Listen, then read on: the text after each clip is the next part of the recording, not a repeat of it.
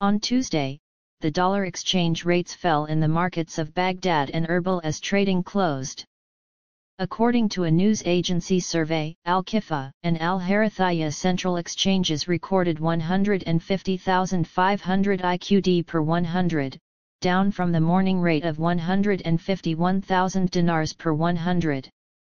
In exchange shops in Baghdad's local markets, the selling price stood at 151,500 IQD per 100, and the buying price at 149,500 IQD.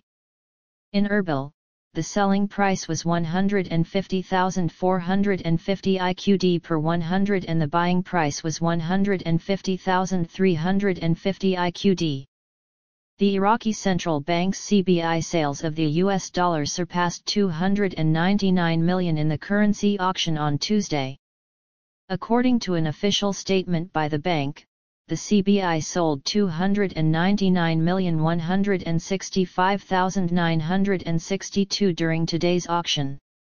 The bank covered these transactions at a base exchange rate of 1,310 IQD per dollar for documentary credits, international settlements of electronic cards, and foreign transfers, while the rate stood at 1,305 IQD per dollar for cash transactions.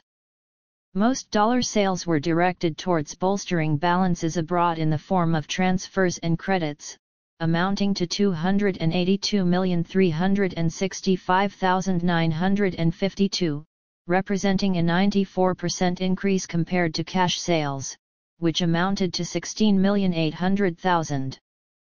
One bank purchased cash dollars, while 13 fulfilled requests to bolster balances abroad.